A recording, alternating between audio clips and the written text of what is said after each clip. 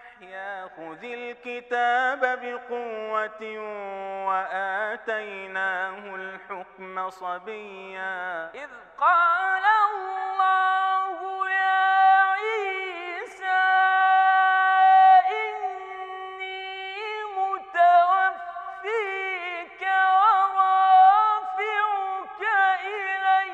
محمد رسول الله. السلام عليكم ورحمة الله. إن الحمد لله نحمده ونستعينه ونستغفره ونعوذ بالله من شرور أنفسنا ومن سيئات أعمالنا. من يهديه الله فلا مضل له ومن يضلل فلا هادي له. وأشهد أن لا إله إلا الله وحده لا شريك له وأشهد أن محمدا عبده ورسوله. اللهم صل وسلم وبارك عليه وعلى آله وصحبه وسلم. subhanahu wa ta'ala is the most wise. The Almighty Subhanahu wa Ta'ala, the one that every single soul and every creation of Allah is under the power of Allah. He has the sovereignty. He is the king of all kings. He is the one that is in charge of this life. And the human beings, Allah subhanahu wa ta'ala created them. And that means by default, they are in need of Allah. They are in need to even take a breath. They are in need of Allah subhanahu wa ta'ala for that and they created he created them and they were in state of submission. And they continue to be in state of submission and they depart from this life in state of submission. Allah subhanahu wa ta'ala send messengers and reveal books for people to willingly submit themselves to the creator of the heavens and the earth. If you think for a second as your fitra your pure nature when you think about it is there anything more beautiful than to worship and to be obedient and to submit yourself willingly to the creator of the heavens and the earth. The one that is no nothing is the like of him whatsoever. Allah subhanahu wa ta'ala the most merciful the all-seer the all-hearer subhanahu wa ta'ala. The most forbearing the one that has the beautiful names and attributes. Nothing is more beautiful in this life than to make remembrance of him than to make dhikr of him than to worship him subhanahu wa ta'ala alone and to make these hearts that Allah created to be only for the sake of Allah. These hearts should not be contaminated whatsoever with anything but the Creator of the heavens and the earth. No attachment to this heart whatsoever except to Allah subhanahu wa ta'ala. Physically, people can do things, yes, but where is the heart? They believe that Allah subhanahu wa ta'ala is the only one worthy of worship. He's the only one that we seek rewards from. He's the only one that we uh, worship, and He's the only one that we fear, and He's the only one that we seek rewards from, and so on. That's why the, the verses in the Quran to establish these meanings in the heart, to establish the Tawheed, the oneness of worship of Allah, to uh, save the believers, and to warn the disbelievers, and to be obedient to Allah. We are in Surah Al Hijr, and we heard uh, the stories mentioned in the Surah, and more of these stories mentioned very briefly. And if it's mentioned brief, in a brief way, we should also explain it in a brief way because it's meant to be this way. Other parts of the Quran, it's mentioned in details and it's meant to be there, you know, for the context that it serves. So in Surah Al Hijr, continuing of some of the stories that are mentioned in the surah, to show us the way of Allah subhanahu wa ta'ala, to give comfort to the Prophet والسلام, in his mission, calling people to the Creator of the heavens and the earth, to worship Him alone. So mentioning the nations before and then afterwards the verses will give us the, the lessons to be learned and how to fulfill the objective of our, of our life and so on. We stopped at verse number uh, 78 from Surah Al Hijr. So we'll go through, inshallah ta'ala, verses uh, 78 all the way to uh, verse number 85. From 78 to 85, that would give us some of the understanding of the way of Allah subhanahu wa ta'ala on earth that would by necessity then give us the benefit of how to live our life and how to humble ourselves to Allah subhanahu wa ta'ala in, in means and guidance that people would not be able to know unless they would refer to the Quran. That's why the Quran guides us to the perfect way. Without the Quran, we are lost. Humanity are in loss unless they seek guidance from the book of Allah, the Quran, and the way of the Prophet. So, after mentioning the story of Lut, before that Ibrahim, and so on, Allah subhanahu wa ta'ala then afterwards talking about other nations uh, in brief. Verse number 78 Allah subhanahu wa ta'ala says, وَإِن كَانَ أَصْحَابُ الْأَيْكَةِ لَظَالِمِينَ And the companions of the thicket were also wrongdoers. Who are these people? The companions of the thicket. These are the people of Prophet Shu'aib, the people of Madian that are mentioned previously in many verses in the Quran, in Surah Al-A'raf and others, in Surah Hud. And, and here it's mentioned, but with regards to Ashabul Aika. Al-Aika is when uh, there are so much uh, trees that are thick, called thickets. It means trees that are thick and the leaves are so, you know, the strength of it is high and it's all, you know, very strong and so much of it. Uh, this is how Allah subhanahu wa ta'ala described their environment. And as if, as the ulama, they say, it's a reminder that Allah subhanahu wa ta'ala bestowed His favor upon them. They had trees, and it was thick trees with all kinds of shade and, and food and provisions and running water and all kinds of things for them, for them to be grateful to Allah. So when the Messenger of Allah sent to them Shu'aib, salam, and Allah subhanahu wa ta'ala gave him the ability to speak and was very eloquent in his speech to convey the truth to them and to refute all kinds of doubts that they had when it comes to the proper belief in Allah subhanahu wa ta'ala. So he made the truth very clear to them, calling them to the worship of Allah subhanahu wa ta'ala alone. So when they disbelieved in him and they turned away from him, Allah subhanahu wa ta'ala called them wrongdoers and he punished them. But after a period of time, and as we mentioned before, the way of Allah subhanahu wa ta'ala on earth, that the punishment does not come all of a sudden when people are not warned, for example, or when people are not uh, warned and warned and warned, and people when they are stubbornly disbelieving in Allah subhanahu wa ta'ala after the warnings have been made clear and the truth has been made very clear to them, then the punishment of Allah subhanahu wa ta'ala comes. The nations before, whenever they would deny their messengers, the punishment would come afterwards and destroy them.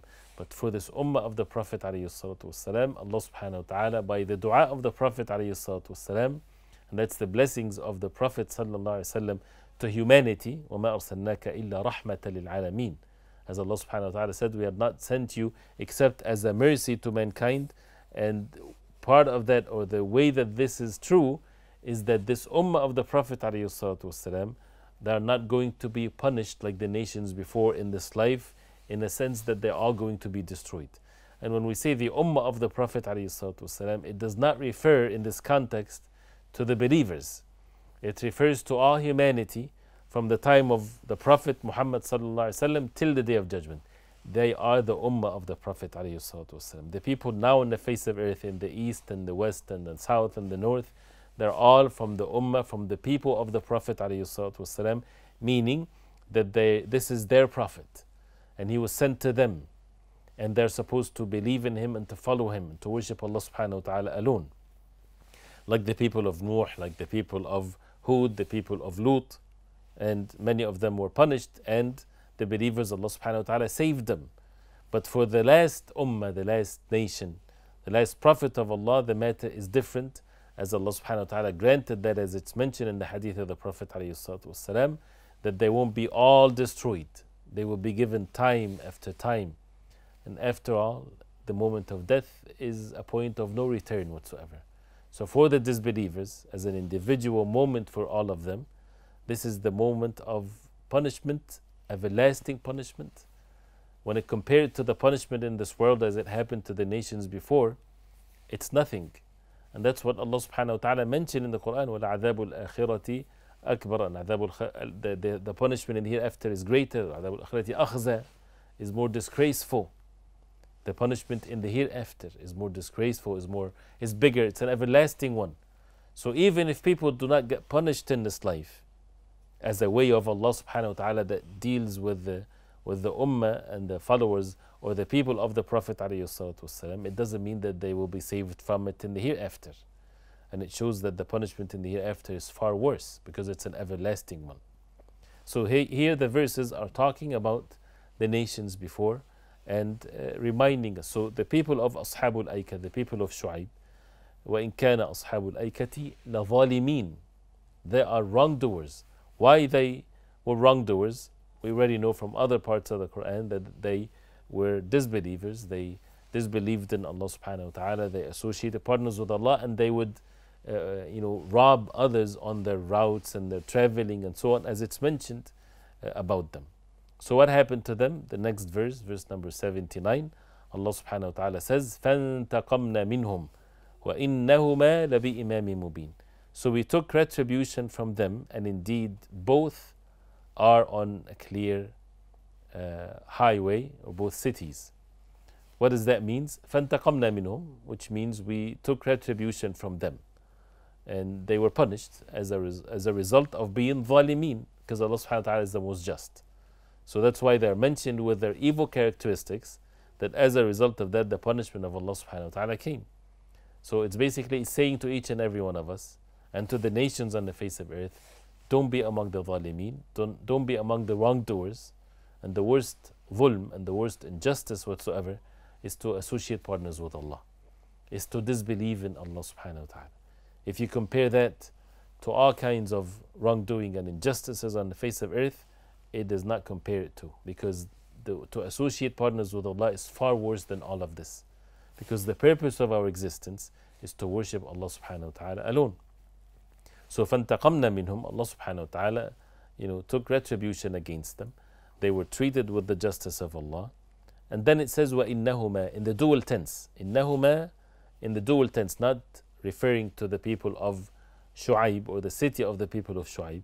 No, it refers to the two cities, the city of the people of Shu'aib, the city of Madian, and what's mentioned before that, which is the cities of Lut.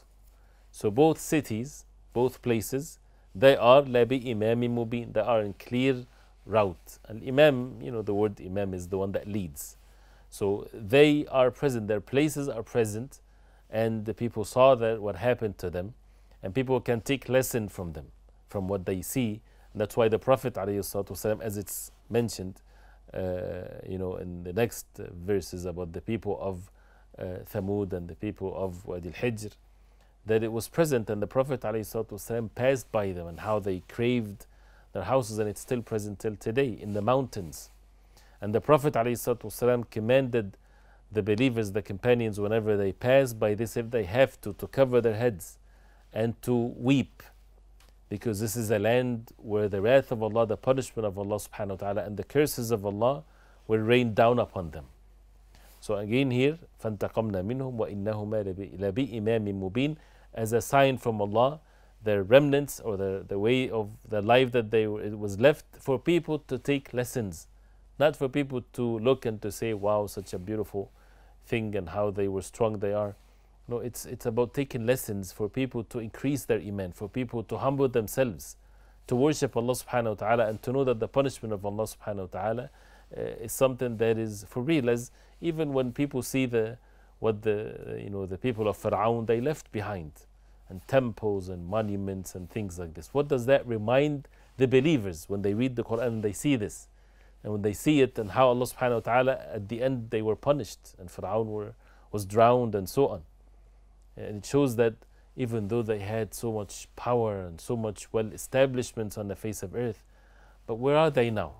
They were destroyed and they are returned to Allah subhanahu wa ta'ala. And the present time from the, what they are facing now, as it's mentioned in the Quran about the people of Fir'aun, النار يعرضون عليها غدوا وعشيا. Now, since they passed away, Allah subhanahu wa ta'ala knows best how long that is, till the day of judgment, the hellfire is being presented to them every morning and every evening and in the day of judgment أدخلوا آل فرعون أشد العذاب admit the people of Fir'aun to the most intense of punishment. So this is how the believers they take lessons from what they see with their own eyes of these cities that Allah subhanahu wa ta'ala destroyed, the people of Madian, the people of Lut. That's basically what is saying to us in the Quran. So that people would take lessons from it. That will be continued afterwards, but after the break, so stay with us inshallah.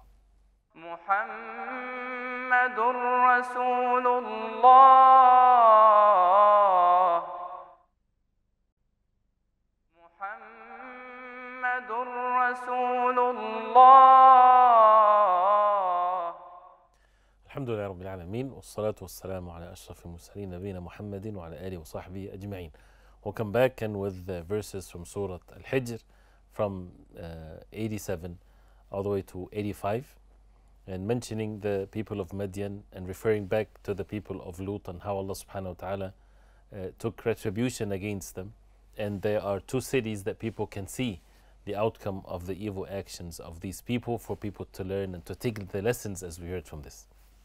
Continuing with more people that Allah subhanahu wa ta'ala destroyed as a result of their evil actions after the matter has been made clear to them.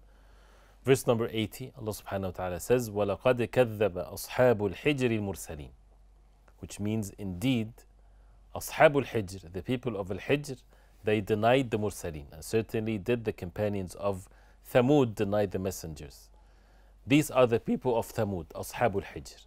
They're referring to their valley that they were living in. And how that, as Allah subhanahu wa ta'ala mentioned, as is going to be mentioned after uh, the next verse, is that how they strong they were. The people of Thamud, they were very strong, physically. And when people are strong, when human beings are strong, physically strong, or they have so much wealth and so on, uh, they tend to be more ignorant and more arrogant, right? Unless they are, of course, believers and they humble themselves to Allah subhanahu wa ta'ala. And arrogance, by the way, is a sign of foolishness because Allah subhanahu wa ta'ala gave the human beings the ability to think, they have intellect.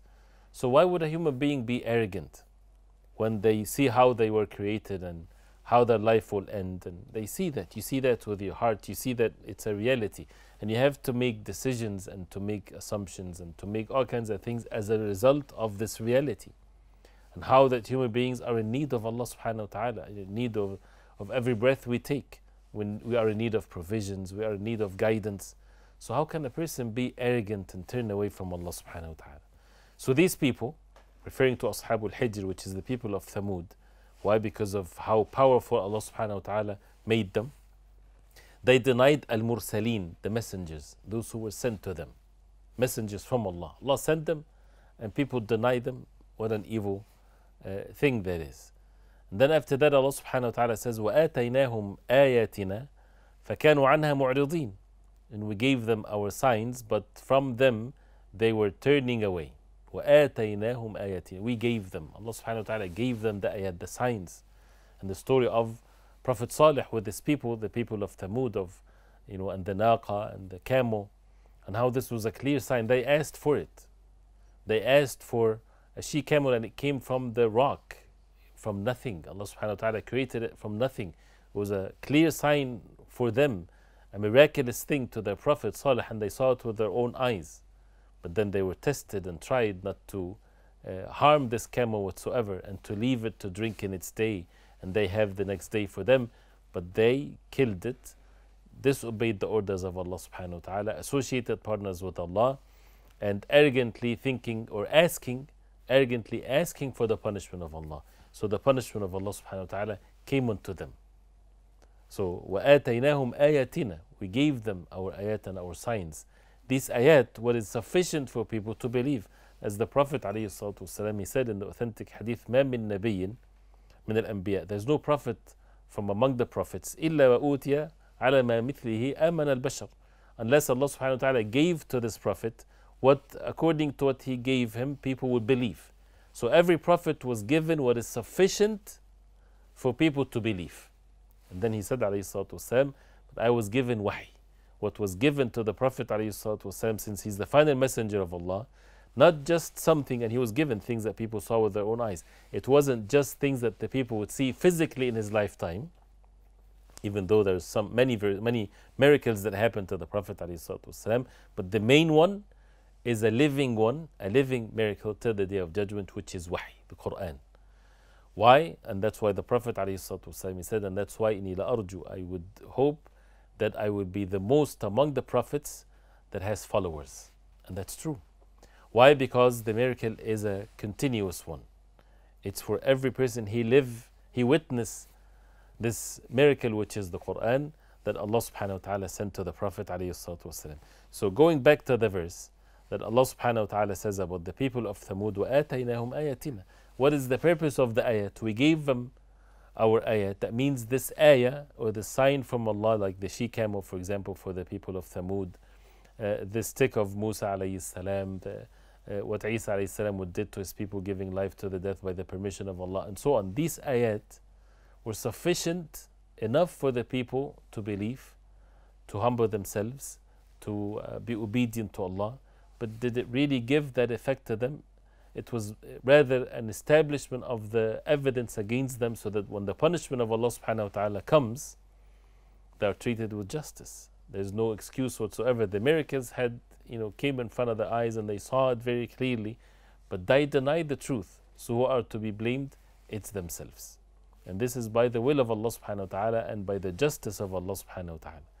So وآتيناهم آياتنا to remember this meaning. فكانوا عنها معرضين they used to turn away from it. Instead of going forward and believing and humbling themselves with regards to these ayat, they turned away from it. And also reflecting upon the ayat, the signs of Allah subhanahu wa ta'ala that came unto us, the book of Allah, the Quran. And the worst thing that a person can do is to turn away from it. But instead, we should turn to it and reflect upon its meanings and seek guidance from what is being said in the Quran, and one of which is what we're hearing the stories of the prophets before, the nations before. Allah subhanahu wa ta'ala is still describing the affairs of the people of Thamud and how Allah subhanahu wa ta'ala bestowed His favors upon them. And they, in return, they were arrogant and they turned away from the truth. The next verse, Allah subhanahu wa ta'ala says, verse number 82, وَكَانُوا يَنْحِتُونَ مِنَ الْجِبَالِ بُيُوتًا آمِنِينَ And they used to carve from the mountains houses feeling secure. How amazing and strong they were. وَكَانُوا يَنْحِتُونَ They used to carve, ينحتون from النحت is to carve something. من الجبال from the mountains.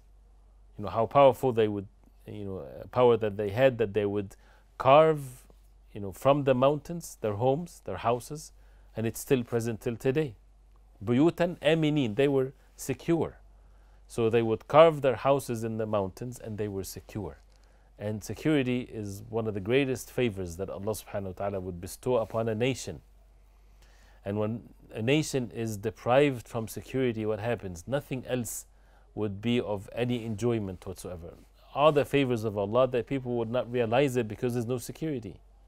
If people are not secure when it comes to their own life and their wealth, they won't be able to enjoy anything on the face of earth. They would not even able to worship Allah subhanahu wa ta'ala in, in a good way. Why? Because they're, they're afraid of their own life and necessities of this life. So Allah subhanahu wa ta'ala bestowed His favor upon them. They, he gave them the physical strength that they would carve their homes in the mountains and they were aminin, they were secure, they were safe. So what ought to be then the reaction to this?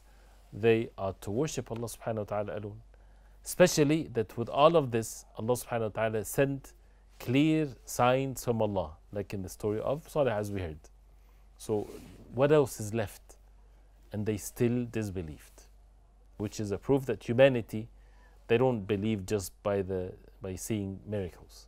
It never happened. This is not the thing that would make them believe. It's sufficient for them to believe, but it, this is not the thing that make them believe. If they do not believe when the truth is being presented to them, nothing else would work because it's arrogance that deprived them, not the fact that this is the truth.